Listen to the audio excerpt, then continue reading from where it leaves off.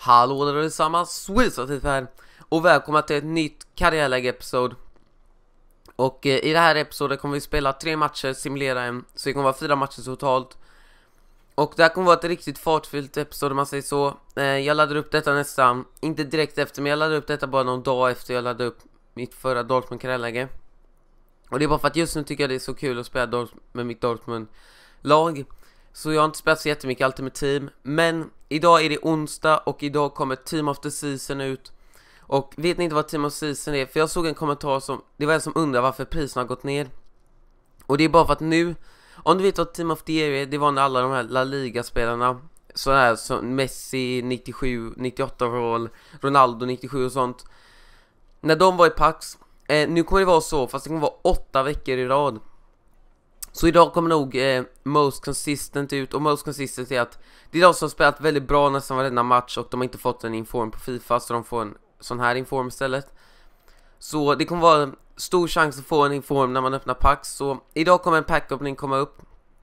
Eller den kanske inte kommer upp idag men jag kommer spela in den idag. Och sen får vi se när jag lägger upp den kanske på torsdagen och sånt. För att jag är, eh, ja jag kommer eh, inte spendera så jättemycket pengar, jag vet inte hur jag kommer göra men lite pengar i alla fall, jag vill ju ändå försöka få en sån spelare. Jag vet inte om de är blåa eller om de är svarta, jag vet inte hur de kommer bli. Men eh, Förra året var de blåa. Men de gjorde ju Team of the Year blåa, så jag vet inte hur de gör. Men men eh, I den här matchen så möter vi Stuttgart och vinner vi den här matchen så har vi väldigt bra chans att gå upp i serieledning. Eller ja, delad serieledning med Bayern München.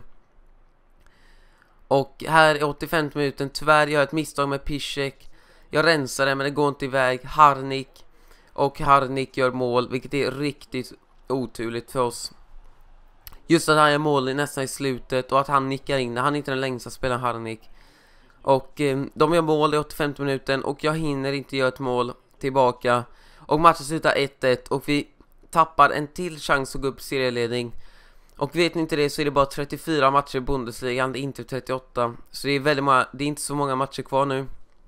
Utan jag tror vi detta är den 29 spelomgången Som är mot Greuterfreud um, ehm, är också ett väldigt svårt namn att uttala, jag kan inte riktigt säga det Men det är ungefär så tror jag. Och jag ville gärna vinna den här matchen För detta är mot det sämsta laget i ligan Fast det är på bortaplan. Så annars hade det varit på hemmaplan hade jag simulerat Men jag vågar inte riktigt. Men bara direkt första anfallet Kommer Anatovic skjuter Men på returen kommer Blashikovski Sätter dit den, fyra minuter in. Och jag blev riktigt glad när jag gjorde det målet för att eh, det är alltid nice att göra ett tidigt mål. Men det skulle inte göra någonting för Wendel passar Schmitzskall till Nöte. Väldigt fint eh, passningsspel av Greutfreud faktiskt. Eh, De spelar bättre än vad jag trodde. För jag förväntade mig inte av ett lag som låg sist Att de skulle ha någon chans mot mig. Men det hade de och 1 stod det i halvlek. Och eh, vi kommer få en chans här tror jag. Jepp Schmelzer upp till Marco Reus. Eh, Marco Reus tar emot den fint. Eh, vänder om. Och han skjuter, men den blockeras. Och hade den gått in hade det varit riktigt nice, men gjorde den inte. Men jag gör ett byte här. Jag tar in Schreiber, Gundogan, ut med Blasikowski och Reus. För jag ville vila dem till den här sista matchen som kommer nu. Vilket kommer vara mot Manchester City i, eh, i Champions League. Vilket kommer vara riktigt nice. Men vi tappar poäng igen. Och detta gör att eh, Jag vill inte säga detta men jag tror vi inte kommer vinna ligan. Och eh, Det kommer bli väldigt svårt om vi gör det för att eh, Bayern München bara fortsätter att röja på om man säger så. De bara fortsätter Att vinna matcher. Och tappar poäng mot sämre lag så kommer det nog inte gå så jättebra. Men tack vare att jag spelade med Lewandowski och sånt i den, här, den andra matchen Så kunde jag inte riktigt använda dem kunde jag inte riktigt... Eh, de var inte hel, eh, de var inte hel eh, pigga. Men det här är den viktigaste matchen på säsongen, precis som jag sa med Spartak mot matchen Vinner vi denna så har vi en riktigt stor chans att komma till Etihad Stadium och eh, vinna där också, eller kanske inte vinna men eh, i alla fall ha en stor chans att gå vidare. Men eh, här ser vi att eh, vi får en chans här med Lewandowski, han gör ett fake shot, går inte förbi Nuri Sahin, passar Gundogan och den där måste gå rakt upp i krysset. Ni kommer se en repris på detta, det här måste gå rakt upp i krysset, det är en av de snyggaste mål jag har gjort faktiskt. Och särskilt i en sån här stor eh, och viktig match. För jag tror man får väldigt många miljoner om man vinner Champions League, så det är riktigt nice och kan köpa någon ungdomsspelare, vad som helst. Men kolla på reprisen, rakt upp i krysset av Gondogan som jag hade inne istället för Royce och Royce på högerkanten. Men i halvtid stod det 1-0 till oss, vilket är riktigt bra. Men jag visste om eh, Manchester City skulle göra ett mål så skulle de få ett bortamål och det är inte så jättebra.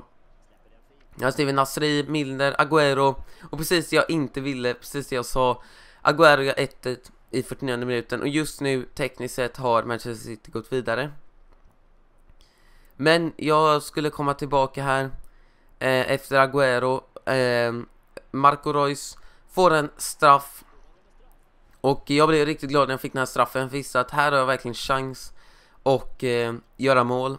Och jag tar eh, Robert Lewandowski på straffpunkten, han är den bästa i laget, men bara 74 faktiskt, inte det bästa. Och han skjuter, men missar. Jag tror jag har tagit om jag hade fått en på mål. Och jag blev riktigt besviken där för att jag visste att nu kanske de gör ett mål till och så kommer det gå jättedåligt. Men jag får väldigt tur här med Lewandowski, hans 19 mål i alla matcher. Eh, tror jag. Eller inte tror jag, vet för att det står det. Och det, jag visar här på reprisen, eller ja, eh, den andra reprisen, att den studsar på, när kompani försöker blockera den, så studsar den på honom och Johart blir helt ställd och den går i, nästan i krysset. Och sen Lewandowski, jag ser Gandoga göra en löpning här. Och Lewandowski, jag tar in den, Gandoga med en dummy, helt förbi Lescott, ingen chans, skjuter in 3-1. 78 minuter in. Och det ser ut som vi också kommer gå till finalen. Och vi får se vilka vi möter för att den andra matchen så är det Real Madrid mot Bayern. Så det är rätt så kul faktiskt att eh, det kanske blir en helt tysk final. Det vet ju jag redan. Men det här var episodet eh, för idag om man säger så. Nästa episod kommer snart tror jag. Men eh, jag hoppas ni tar om detta och vi ses. Hejdå.